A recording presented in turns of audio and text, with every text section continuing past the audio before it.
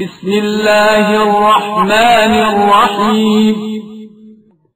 وتزودوا فإن خير الزاد التقوى. اپنے لئے زاد راہ فرام کرو کہ بہترین زاد راہ تقوی ہے۔ صفا اور مروہ کے پانچویں چکر کی دعا۔ اللہ اکبر۔ الله أكبر. الله أكبر. ولله الحمد. سبحانك ما شكرناك حق شكرك يا الله. سبحانك ما أعلى شأنك يا الله. اللہ سب سے بڑا ہے. اللہ سب سے بڑا ہے۔ اللہ سب سے بڑا ہے۔ اور ساری تعریفیں اللہ کے لیے سزاوار ہیں۔ اے اللہ، تو پاک اور منزہ ہے۔ ہم نے تیرا اتنا شکر ادا نہیں کیا۔ جتنا شکر ادا کرنے کا حق ہے۔ اے اللہ، تو پاک اور منزہ ہے۔ تیری شان کتنی اعلیٰ ہے، اے اللہ۔ اللهم حبب إلينا الإيمان وزينه في قلوبنا۔ وكره إلينا الكفر والفسوق والعصيان. واجعلنا من الراشدين. رب اغفر وارحم وعف وتكرم. وتجاوز عما تعلم. إنك تعلم ما لا نعلم. إنك أنت الله العز الأكرم. اے اللہ، تو ہمارے اندر ایمان سے محبت کا جذبہ پیدا کر۔ اور اس سے ہمارے دلوں کو زینت بخش دے اور ہمارے اندر کفر و فسوق اور اسیان سے نفرت پیدا کر۔ اور ہم لوگوں کو ہدایت یافتہ لوگوں میں قرار دے۔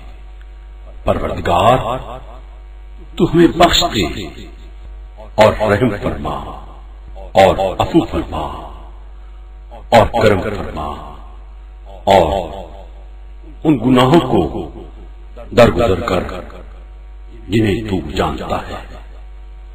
اس لیے کہ تو وہ سب کچھ جانتا ہے۔ جسے ہم لوگ نہیں جانتے بے شک تو اللہ ہے بڑی عزت و کرم والا اللهم قني عذابك يوم تبعث عبادك اللهم اهدني بالهدى ونقني بالتقوى واغفر لي في الآخرة والأولى. اللهم أبسط علينا من بركاتك ورحمتك وفضلك ورزقك. اللهم إني أسألك النعيم المقيم الذي يحول ولا يزول أبدا. اے اللہ، جس دن تو اپنے بندوں کو مقبوس کرے گا، تو مجھے اپنے عذاب سے محفوظ رکھ۔ اے اللہ، تو ہدایت کے ذریعے مجھے ہدایت دے اور تقوی دے کر مجھے پاک کر دے اور آخرت و اولا میں میری مغفرت فرما۔ اے اللہ تو ہم لوگوں پر اپنی برکت و رحمت اور فضل و رزق کو پھیلا دے۔ اے اللہ، میں تجھ سے ایسی نعمت کا طلبگار ہوں جو ہمیشہ قائم رہے اور طاقت ضائع ظاہر اللهم اجعل في قلبي نورا وفي سمعي نورا وفي بصري نورا وفي لساني نورا وعن يميني نورا ومن فوقي نورا واجعل في نفسي نورا وعظم لي نورا رب اشرح لي صدري ويسر لي أمري.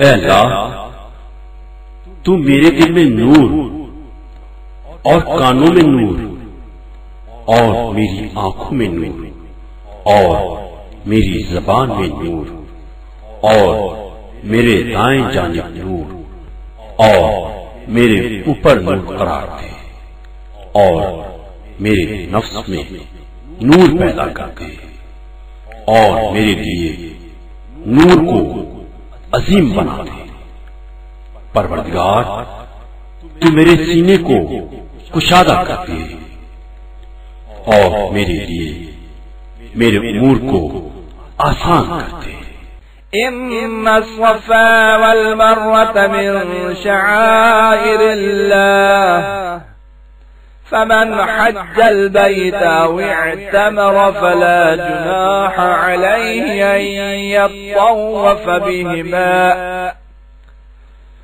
ومن تطوع خيرا فإن الله شاكر عليم کوہ صفا و مروا یہ دونوں اللہ کی نشانیوں میں سے ہیں۔ بس جو شخص خانہ کعبہ کا حج اور عمرہ کرے، تو اس میں کوئی برائی نہیں، بلکہ ثواب ہے۔ کہ ان دونوں کے درمیان چکر لگائے اور جو شخص خوش خوش نیک کام کرے تو اللہ بھی قدردان اور واقف کار ہے۔